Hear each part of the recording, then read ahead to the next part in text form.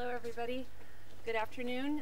Today, we're 74 days into an unprovoked and unjustified war. A war of aggression against Ukraine, perpetrated by an equally depraved aggressor who, as in 1945, will be defeated by the courage and resolve of soldiers and civilians standing up against evil for the common good. I'm thrilled to be able to return to Kiev, as I said earlier, today, Victory in Europe Day, to observe the triumph of good over evil in the city I love among people who embody the spirit of this commemoration.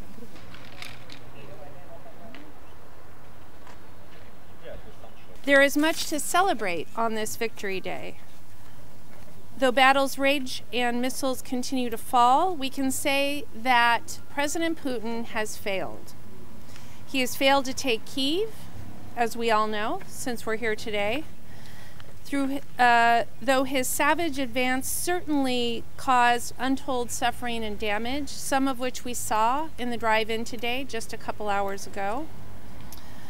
Uh, but Putin failed to replace Ukraine's government with Russian stooges and he failed to subject the proud Ukrainian people who across the entire country, including those in the east of Ukraine, refused to bend to his will and told the Russians, go F yourself.